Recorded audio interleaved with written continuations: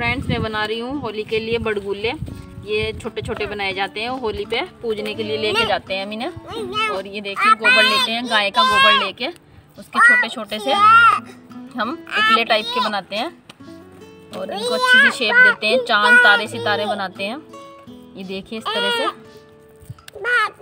और ये बीच में इसमें होल करेंगे ताकि इसमें हम माला पिरो सके। ऐसे हम इसमें होल कर देंगे, ये देखिए।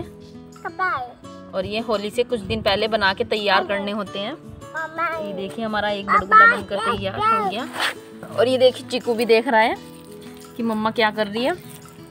ऐसे राउंड राउंड करेंगे और ये बना देंगे। जिस दिन होलिका दहन होगा तो जो होलिका दहन के लिए उपले यूज़ किए जाते हैं, वो गोबर के, इन कंडों का उपयोग किया जाता है और इन्हें बोलते हैं होली के बड़गुले। तो ये इंडियन ट्रेडिशनल है एक। और इसी के साथ आप सभी को हैप्पी होली। और अभी होली की आपको बहुत बहुत शुभकामनाएँ। तो फ्रेंड्स ये बनकर तैयार हो चुके हैं मेरे बड़गुले। होली की प्रिपरेशन हमारी शुरू हो चुकी है। आप लोगों की प्रिपरेशन कहाँ तक पहुँची कमेंट बॉक्स में ज़रूर लिखें। तो कैसे लगे मेरे बड़गुले? लाइक और कमेंट ज़रूर करें और शेयर करें मेरे चैनल को।